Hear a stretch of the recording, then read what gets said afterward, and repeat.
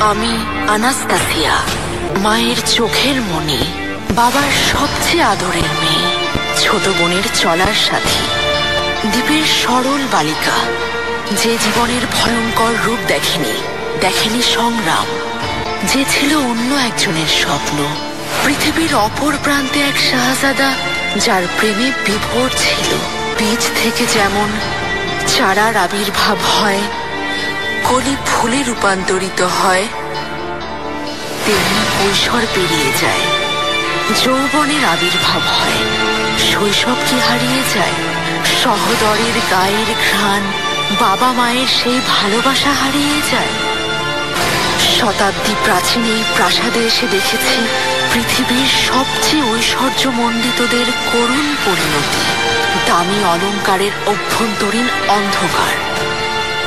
আকর্ষণীয় মুখশ্রীর আড়ালে থাকা শয়তান। দেখেছি পৃথিবীর সবচেয়ে ক্ষমতাধর শাসকের হৃদয় পানির মতো স্বচ্ছ, গভীর, সরল আর পবিত্র। এক সময় বৃষ্টির শব্দে চমকে উঠত, আজ সে জীবন দিতেও ভয় করে না।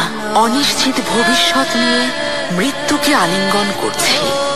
জীবনকে স্মরণীয় করে তুলতে, নিজেকে নতুনভাবে আবিষ্কার করতে আমি আসছি।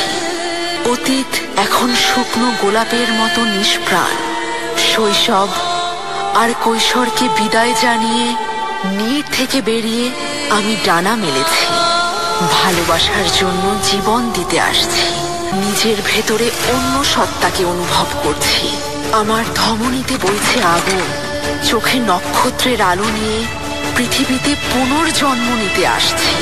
ভালোবাসার বর্ম বুকে জড়িয়ে সত্যকে তলোয়ার বানিয়ে কণ্টকাকীর্ণ বিশাল পথ পাড়ি দিয়ে আমি আসছি ভাগ্যকে পরখ করতে, ভবিষ্যৎ রচনা করতে, ইতিহাসের পাতায় নাম লেখাতে আসছি।